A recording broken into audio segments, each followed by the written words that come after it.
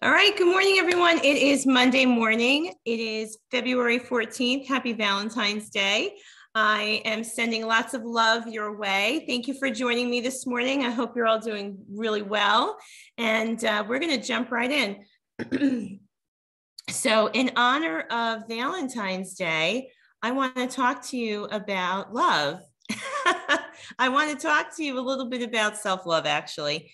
And I think that we have to acknowledge how special we are in our own lives. And that might sound a little uh, strange for some of you, but it's so important for us to recognize how to love ourselves. And I think, especially in recent times, it, you know, the world around us can be a challenge. And I think that the more we can support ourselves, the more grounded we can be to meet the challenges of everyday life. And um, Look, there's no other person quite like you. There's no other person as special as you are. And I think there's no better time than Valentine's Day for us to talk a little bit about self love.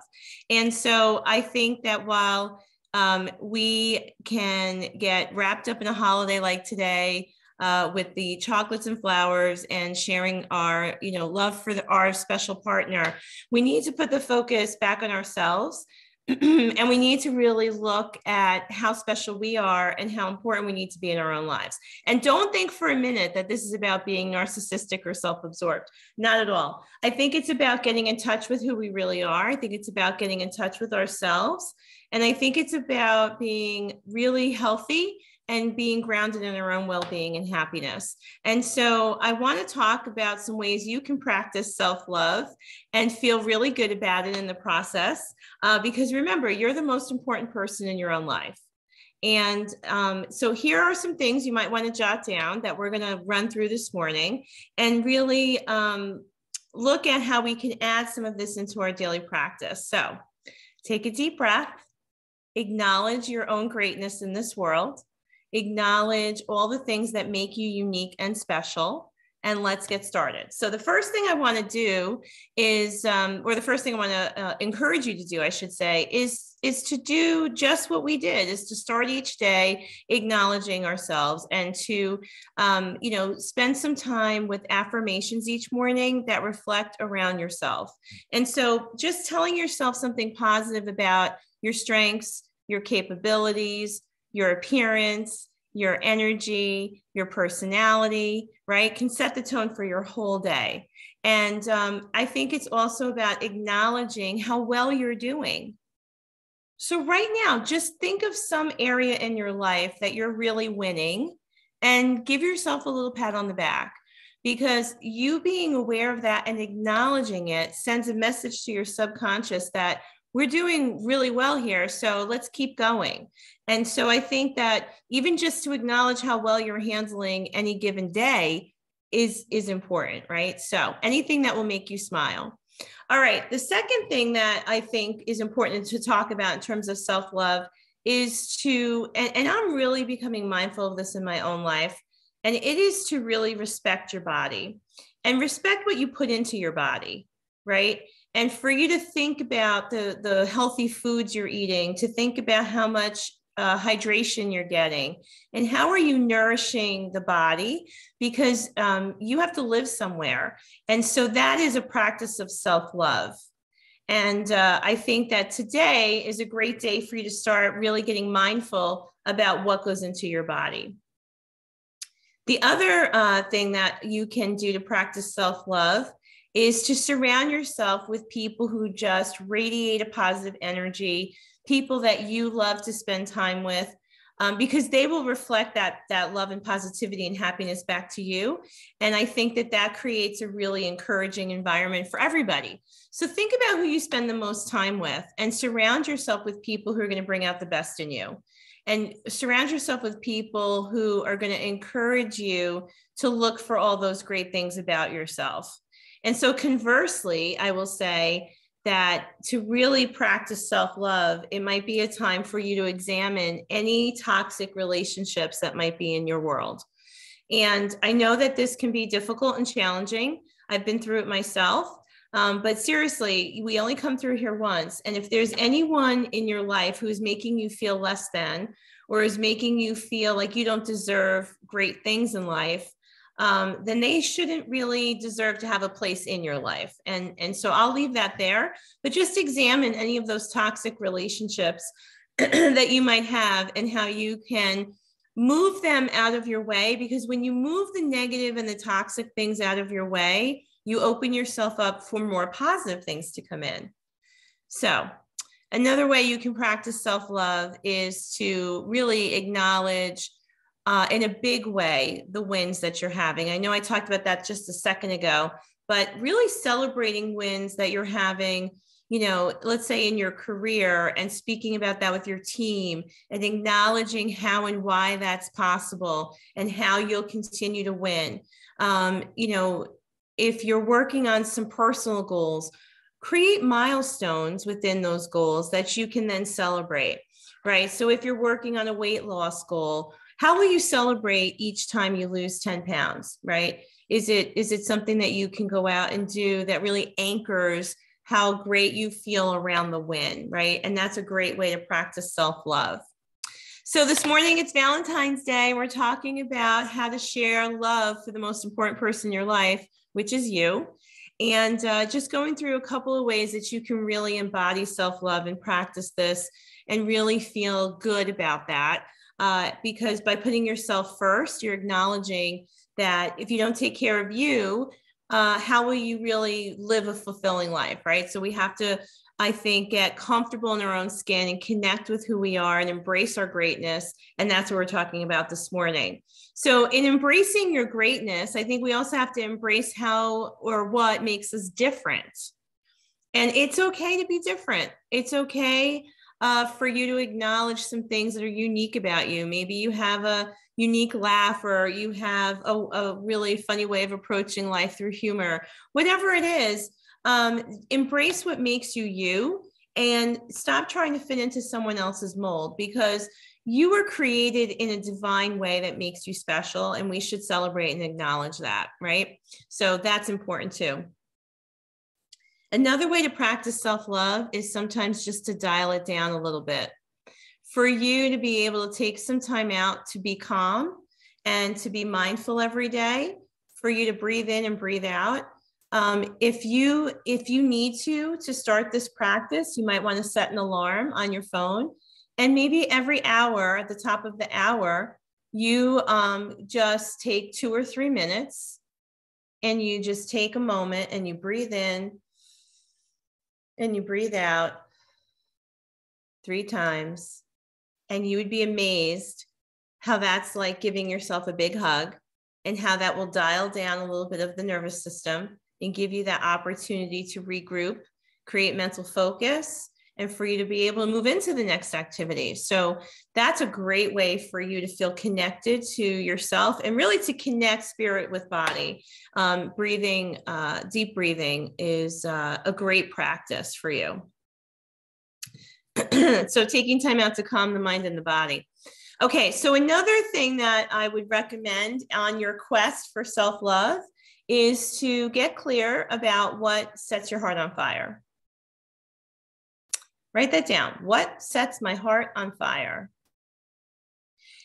And if you can follow your passion and you know that you can get excited about doing those things, you're living life at a really high energetic level, right?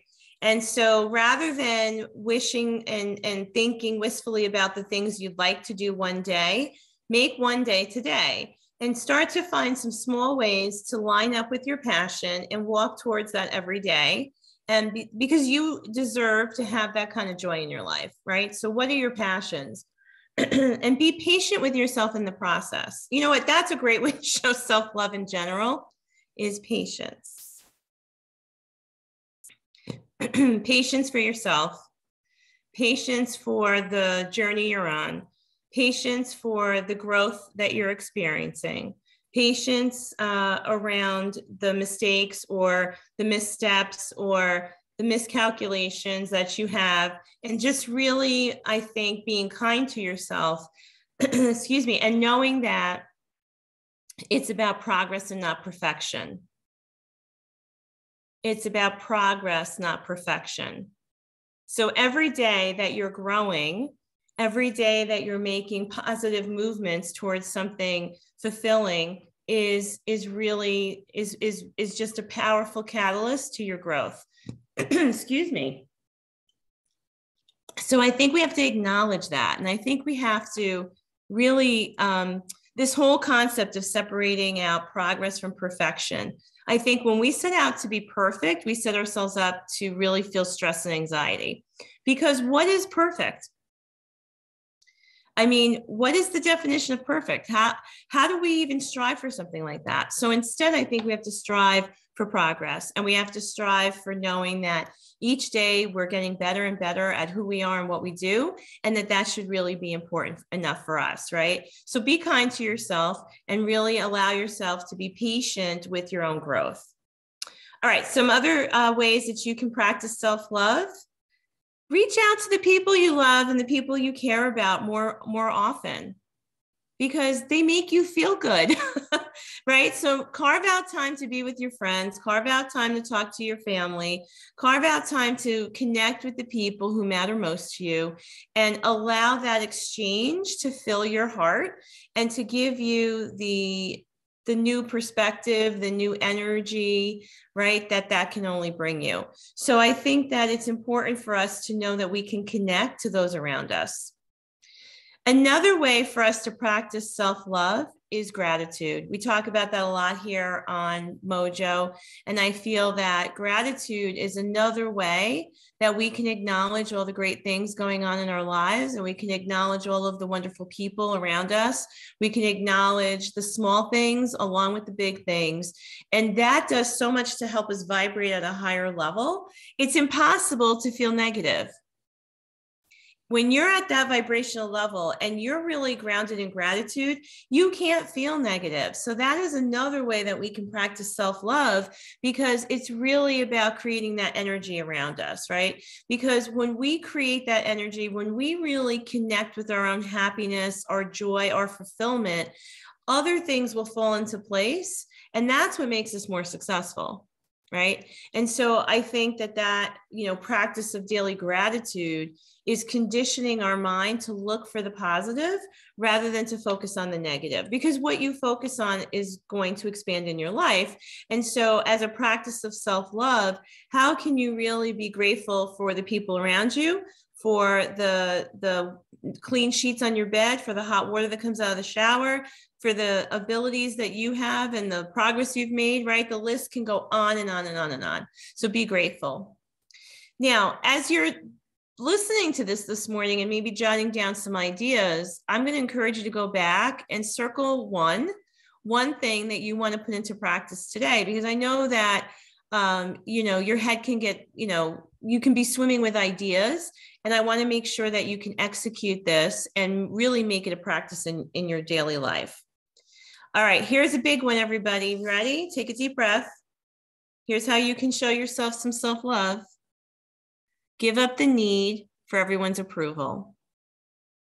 Give up the need for other people's approval because it is not what validates you. It is not what you need to be successful. You need to know clearly who you are, what your strengths are, what you're here to contribute to the world, what your passions are. You need to know that you are good enough that you have whatever you need to be successful or you'll be resourceful enough to find it. And you don't need other people's approval. And i have found in my own life that every time i have tried to work towards you know getting someone's approval uh, it just really jacks me up. And and i can't show up as my authentic self because what I'm trying to do is fit someone else's mold or version of what I think they think I'm supposed to be. And at the end of the day, it is about being your authentic self. And when you show up as your authentic self, all of the right people are immediately attracted to you. You become a magnet for opportunity. And so there, there is a place to uh, look at how we meet goals and how we meet standards, how we meet performance. Um, uh, expectations and how we're accountable to all of that. But what I'm talking about is when you try to fit into some other mold that is not you, when you are doing things because you want someone else to validate you. You don't need a partner to validate you. You don't need a colleague or a boss to validate you. That comes from within. And so that is the number one way to show yourself self love is to give up the need to be uh, accepted and validated by everyone around you. You don't need their approval. Okay, as we wind down this morning, a couple more. Um, here's one that I think is just fun. I think a great way to show self-love is to really again connect with the things that you're passionate with, passionate about, but connect with the things that you think are fun. Connect with the things that you think are fun. Be creative. Express yourself. I was at a small gathering yesterday for Super Bowl, and um, I get it depending on maybe your age or of course your your musical preference uh, you either loved or hated the halftime show. So i was the only one in the group who was loving it. I was loving it. I was trying to dance to it and i wasn't afraid to be that person because it brought back a little bit of my youth and i thought it was great. And that's okay. So be creative express yourself and do whatever it is. So if you love to paint make time to paint what did you used to do as a child that brought you joy right? Is it is it coloring painting? Is it that kind of creative expression? Uh, is it being athletic and playing sports? Or are you are you doing those things as an adult? Do you enjoy music? Do you take the time to do things that just make you feel energized and that are fun if you're not incorporating enough fun in your life, are you truly practicing self love? So I think that that has to be on the list. And maybe today you're going to think about how that can show up on your calendar this week, right? So just have a good time, be yourself, let loose, and don't worry so much about how you look. Just in, enjoy how you feel, right? All right. So, last one this morning that I think is also very powerful is really get in touch with the inner dialogue going on up here we are constantly thinking and talking to ourselves, right? Because our thoughts, we're eavesdropping on our own thoughts. And we talk to ourselves more than anyone else throughout the day.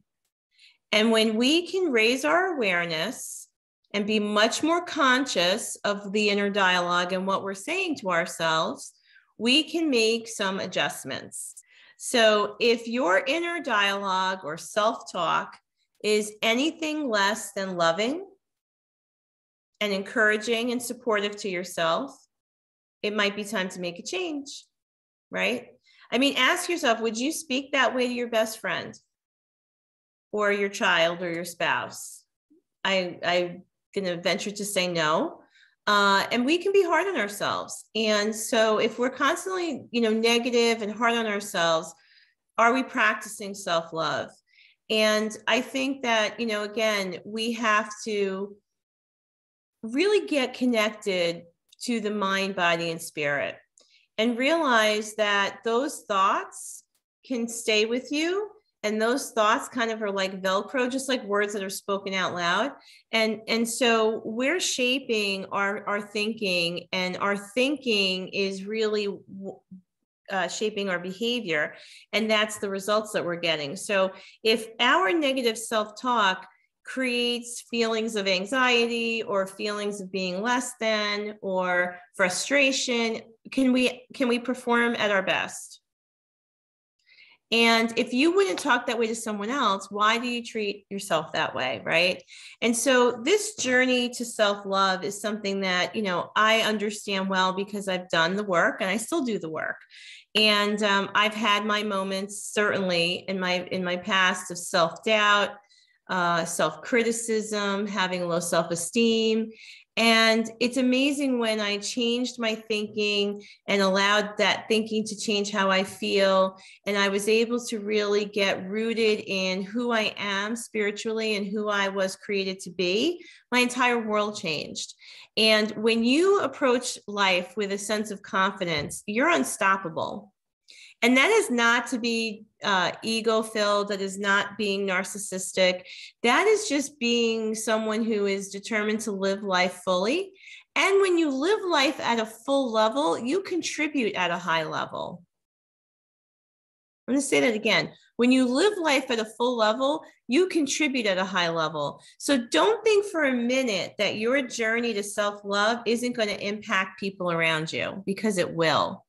Your journey to self love is going to make you a better partner, a better parent, a better coworker, a better friend, a better member of the community.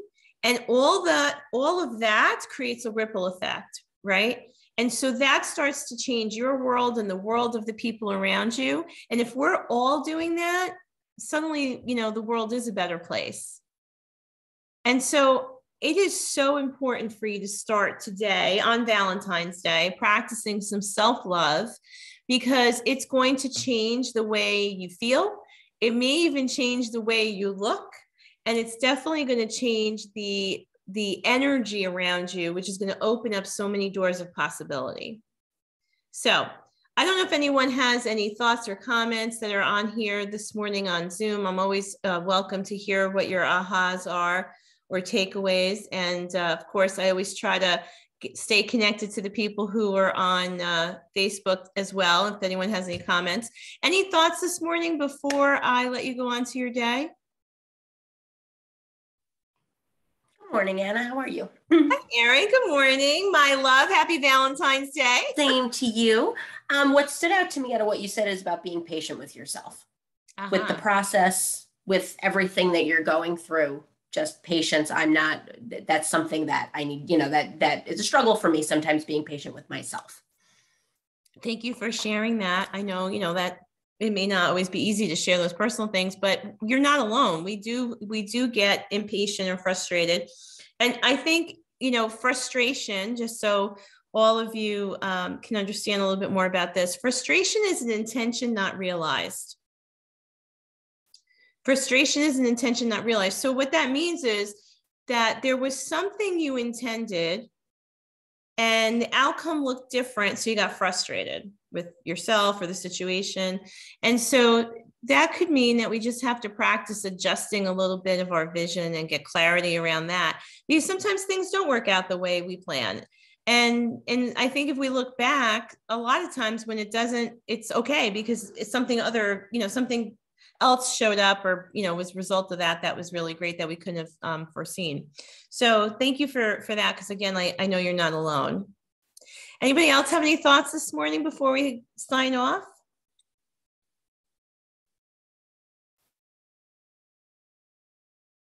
Okay, so listen, take some time today, practice some self love, incorporate some of these new thoughts and activities into your routine. It's going to change your life, I promise you. It's going to change the energy around you. And uh, I really appreciate you always being here to join me on Monday mornings. I trust you get a lot of value out of this. So if you do, please share this Facebook page with anyone that you care about. Show some love today and let's grow our community. Love to see more people uh, come on to the Mojo uh, calls on, on Monday mornings or just be a part of the community on Facebook. And the other thing I just want to rem- remind everyone is I am doing a book club starting on March 8th. And uh, the book is The Happiness Advantage. And I'm really, can you see it? I know it's hard. There you go. Uh, it's um, really exciting because the happiness advantage is really about positive psychology. And basically, it is understanding that when when you are working from a positive brain, that will fuel your success and your happiness in life. And a lot of people are programmed to think that when they achieve something, whatever it is, fill in the blank, they will become happier. And the reality is that the happier you become, right, the more we practice self love, the more that we are anchored in our positive thoughts and approach life that way, uh, that the more success we achieve. And so we're going to talk about the principles in the book. There are seven. It's always about the foundation being um, taking action. Remember, it's not just thinking our way there.